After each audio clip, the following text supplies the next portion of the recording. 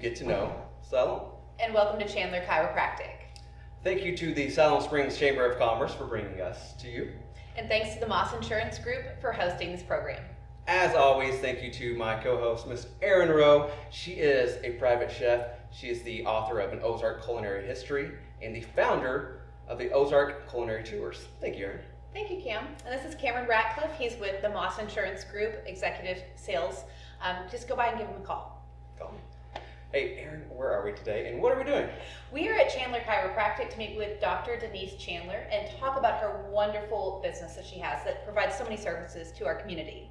Yes, and she has such a great history, such a great story. I'm so excited to be able to share this with you guys. So, hey, let's get to know you, Siloam.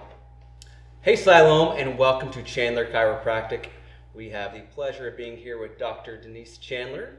Uh, she has an interesting story that I just love so much um, about your history getting into this field. Um, you knew at such an early age. I did. Um, would you please just elaborate on that story? Sure, I'd love to. So I knew actually at the grade of seventh, the whopping seventh grade, that I was going to be a chiropractor.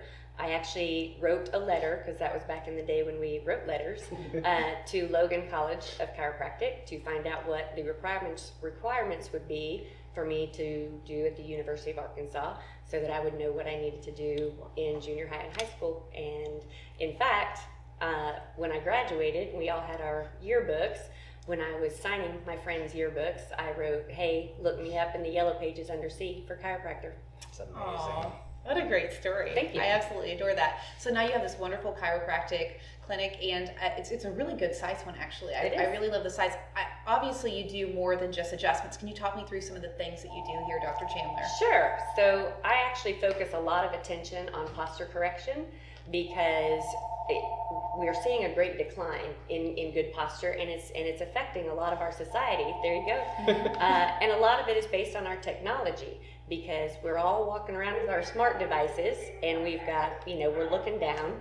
And so we have to spend some time re-educating and getting away from all of this looking down. So yes, I incorporate a lot of um, therapy along with adjustments. Makes sense. Mhm. Thank you. Mhm. So I know a, um, I know you from church. Yes, So another passion, um, singing. That Yes. was one of your other absolutely. other things that Mhm. as a young age. And Yeah, in fact, if I wasn't going to be a chiropractor, the only other thing I ever thought that I wanted to do was being a country music singer.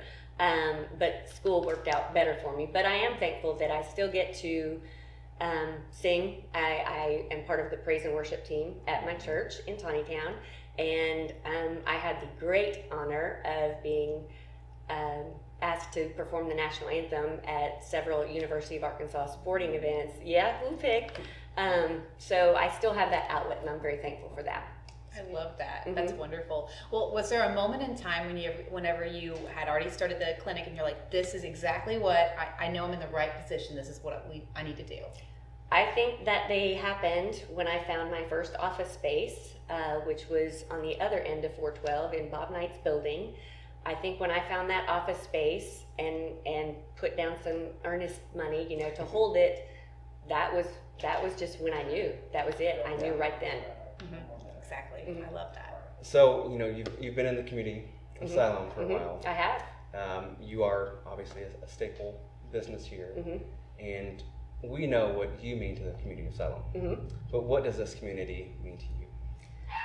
So, what's interesting to me is I think it's exactly the word you just used, and that is community. Because what I feel here is the closeness and the warmth and the familiar people and the love and just being close with, uh, you know, this community. And I've felt that since I have been here, and it's just continued to grow over the years. I mean, I can't really go anywhere without being greeted by name, Mhm. and um, so that's it. It's the feeling of this close community. Well, Coco definitely agrees. Coco's, does. Coco's got a lot to um, a staple of the community as well. as well. And hey, thank you so much for just being here with us today Yeah. and letting the, the city just better get to know you. And I appreciate y'all being here. thank you for letting us get to know you. Thank you again.